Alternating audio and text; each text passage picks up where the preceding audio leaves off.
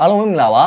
project ဝင်အောက်ချိန်မှာစာယနေ့အထိ season 1ကနေပြီးတော့ကြိုဆိုလိုက်ပါတယ်ခင်ဗျာဒီဗီဒီယိုမှာပြောပြပေးမယ့်အကြောင်းအရာတွေကတော့ကျွန်တော်အလောက်ကင်ခွင့်လန်းတွေကိုဘယ်လိုရှာဖွေခဲ့လဲဆိုတဲ့အကြောင်းတွေပဲဖြစ်ပါတယ်ပြီးတော့ခုချိန်မှာရောဘယ်လိုရှာဖွေနေလဲဆိုတဲ့အကြောင်းတွေပါဆိုတော့ဒီဗီဒီယိုမှာတော့သိတဲ့အတိုင်းကျွန်တော်ကလိုရင်းတူရှင်းနဲ့လက်တွေ့လောကမှာတကယ်ကိုအသုံးချလို့ရအောင်ကျွန်တော်ရဲ့အတွေ့အကြုံတွေကိုမျှဝေပေးသွားမှာပါဘာဖြစ်လို့လဲဆိုတော့ကျွန်တော်ကဒီအကြောင်းအရာတွေကိုတကယ်ဖြတ်ကျော်ခဲ့တဲ့အတွက်ကြောင့်ပါပဲ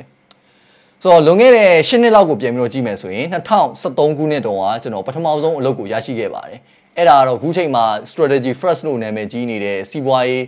တင်တန်းကြောင်းပေါ့နော်ဆရာဦးအောင်ချင်ဦးဆောင်နေဆိုတော့သူ့ရဲ့စီမှာကျွန်တော်အလုပ်ရရှိခဲ့ပါတယ်အလုပ်ကတော့ဒီပူတက်ဂျာနယ်ဆိုတော့ကတ်တွန်းဂျာနယ်အတွက်ကျွန်တော်က editor အနေနဲ့ဆောင်ရွက်ပေးရတဲ့အပိုင်းပါ ဘယ်လိုမျိုးစားရခဲ့လဲဆိုတာတော့မထင်မှတ်ပဲရခဲ့တာပါအဲ့ဒါတော့ကျွန်တော်အလုပ်ကိုရှာဖွေခြင်းတဲ့အတွက်ကြောင့်လောက်ကင်ပြကန်းကိုကျွန်တော်တွားခဲ့တယ်ဆိုတော့အဲ့တုန်းကတပ်မတော်ပြကန်းမှာဒီရှိတာအဲ့တော့ကျွန်တော်တွားခဲ့ရင်လည်းမထင်မှတ်ပဲနဲ့ဒီဆရာသမားတယောက်ကဒီ career counseling ပေါ့ကိုတမူဝန်းချောင်းဘဝကိုဘယ်လိုမျိုးဆက်လျှောက်ခြင်းလဲဆိုတော့အာဒီ အခမဲ့ session မှာအကြံပြုခြင်းမှာကျွန်တော်တွားပြီးတော့ပါဝင်ဆွေးနွေးလိုက်ခဲ့တယ်ပါဝင်ဆွေးနွေးရဆိုတာဒါသူစီကအကြံဉာဏ်ရယူတယ်ပေါ့နော်အဲ့အချိန်မှာသူကကျွန်တော်ကိုမေးခဲ့တယ်အဲ့ဒါဘာလဲဆိုတော့မင်းကောက်တီလားဆိုတော့ကျွန်တော်အယိုးရှင်းဆုံးပဲအာကျွန်တော်ပြောခဲ့ပါတယ်မသိဘူးလို့ကျွန်တော်ပြောလိုက်ပါတယ်အာအဲ့အချိန်မှာသူကအော်မင်း strategy first ကိုသိလားဆိုပြီးတော့ကျွန်တော်ထပ်ပြီးတော့မေးပါတယ်အဲ့တော့ကျွန်တော်ထပ်ပြီးတော့အယိုးရှင်းဆုံးပဲပြောပါတယ်ကျွန်တော်မသိဘူးလို့ပွင့်နေမယ်ဝန်ခံလိုက်ပါအဲ့ဒါသူကကျွန်တော်နည်းနည်း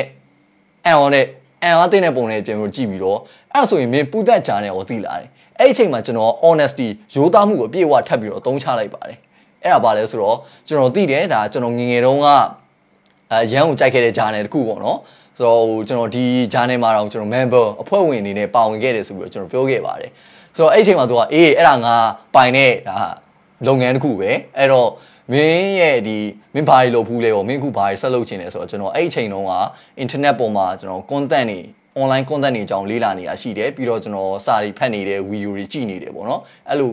အချိန်ရှိတဲ့အတွက်ကြောင့်ကျွန်တော်အလုပ်တွေ့ကြုံတော့ကျွန်တော်ဖုန်းဆိုင်တွေမှာတော့ကျွန်တော်ကြောင်းပိတ်တဲ့ကာလာတွေမှာလုပ်ဖူးတယ်အာ guide အနေနဲ့ကျွန်တော်လုပ်ဖူးတယ်ပေါ့ဆိုတော့အခုလောလောဆယ်တော့ကျွန်တော်ကြောင်းတက်နေတယ်ဒါပေမဲ့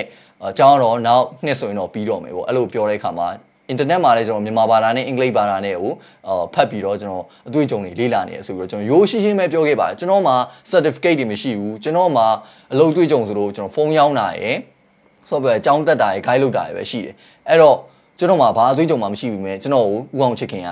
ရုံကြည်ကြည်နဲ့ပထမဆုံးအလုပ်ကိုဒါဟိုပေးရခဲ့တယ်ပေါ့နော်ဆိုတော့ဆိုလိုချင်တာကဘာလဲဆိုတော့ယူသားမှုကျွန်တော် အမြဲတမ်းဦးစားပေးပါတယ်အဲ့ဒီအတွက်ကြောင့်ကိုပထမဆုံးအလုပ်သွားတော့မယ်ဖြစ်ဖြစ်စီးပွားရေးမီတင်တွေမှာဖြစ်ဖြစ်ယူသားပါယူသားမှုကတော့ကျွန်တော်တို့အတွက်အခွင့်အလမ်းတွေကိုအများကြီးကိုဖွင့်ပေးသွားမှာဖြစ်ပါတယ်ပြီးတော့နောက်တစ်ခုကဆိုတော့ပြ emotional attachment မှာဆိုတော့ကျွန်တော်သူ့ကိုမသိတဲ့အကြောင်းဆိုရင်တော့မသိဘူးလို့ပြောခဲ့ပြီမယ်ကျွန်တော်သိတဲ့အကြောင်းဆိုရင်တော့သိတယ်လို့ပြောခဲ့တယ်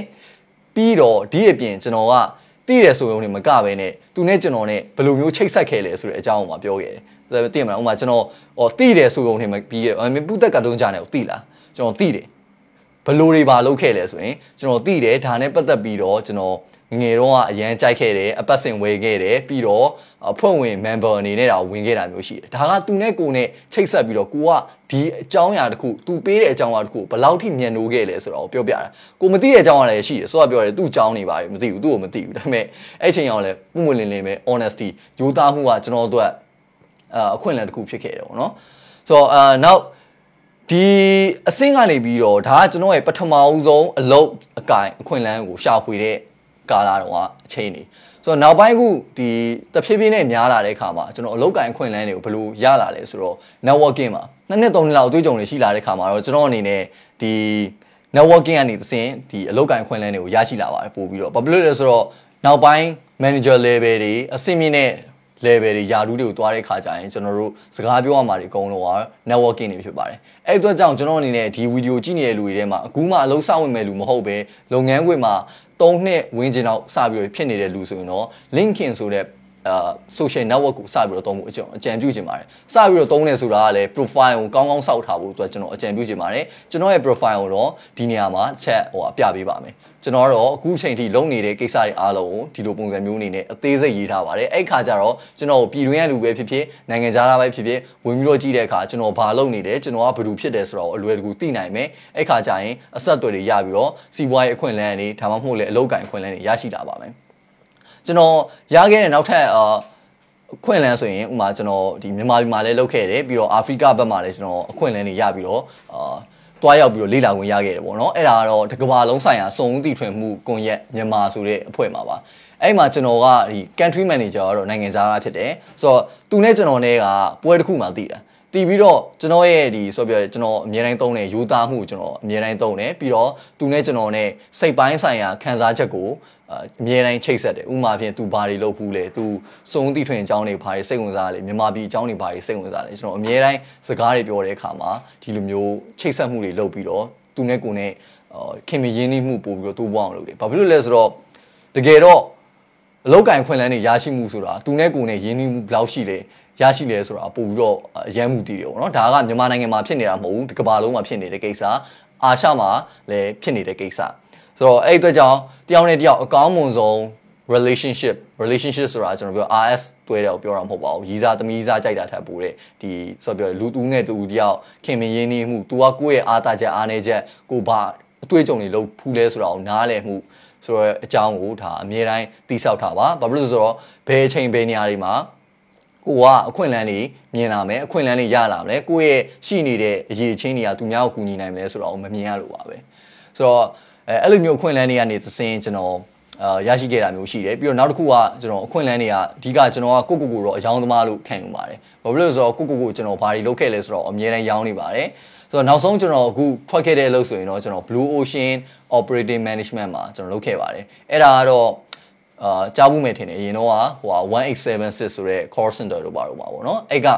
ဆိုတော့ကျွန်တော်နောက်ထပ်ဒီလို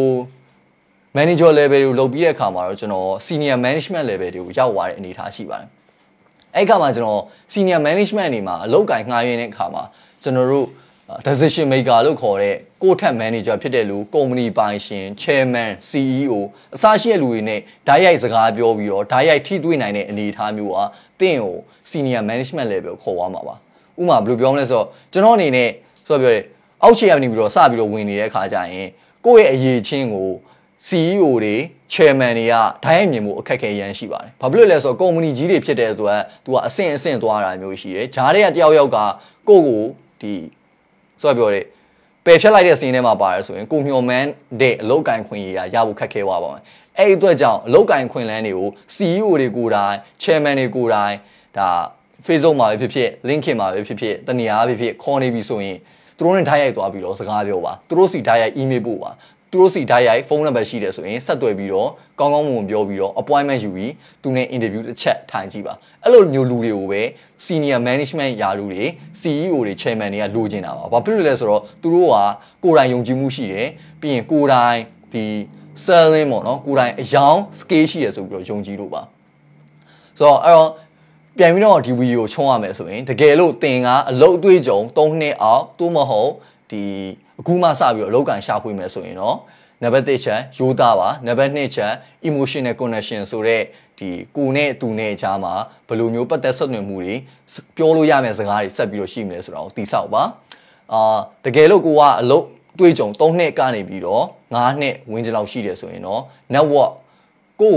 ကိုယ့်ရဲ့အားသားချက်ကိုသိတဲ့လူတွေများများရှိအောင်လုပ်ထားပါအဲ့ဟာနေရာအဲ့အကြောင်းအရာတွေကနေပြီးတော့ကိုအ ခွင့်အလမ်းတွေရမယ်ပေါ့နော်ဆိုတော့9နှစ်ထပ်ကျော်သွားပြီးတော့ကိုက senior management တွေကိုသွားခြင်းနဲ့ corporate လုပ်ငန်းကြီးတွေမှာနေရာတစ်ခုရခြင်းနဲ့ဆိုရင်တော့ဆိုတော့ပြောလို့ဒီ CEO တွေ chairman တွေနဲ့ network ရှိအောင်လုပ်ထားပါပြီးတော့သူတို့နဲ့စကားပြောဖို့မကြောက်ပါနဲ့ဘာဖြစ်လို့လဲဆိုတော့ CEO တွေ chairman တွေကသူတို့နဲ့စကားပြောဖို့ကြောက်နေတဲ့လူတွေကိုတော့ senior management position ဘယ်တော့မှပေးမှာမဟုတ်ပါဘူးအဲ့ဒါပြီးသွားရင်တော့ entrepreneur လုပ်မဲ့လူတွေအတွက်ကတော့နောက်ထပ်ဗီဒီယိုအပိုင်းတွေမှာပါပါမယ်ဆိုတော့ episode 2မှာဘာတွေလာမလဲဆိုတာဆက်ပြီးစောင့်ကြည့်ပေးပါဦး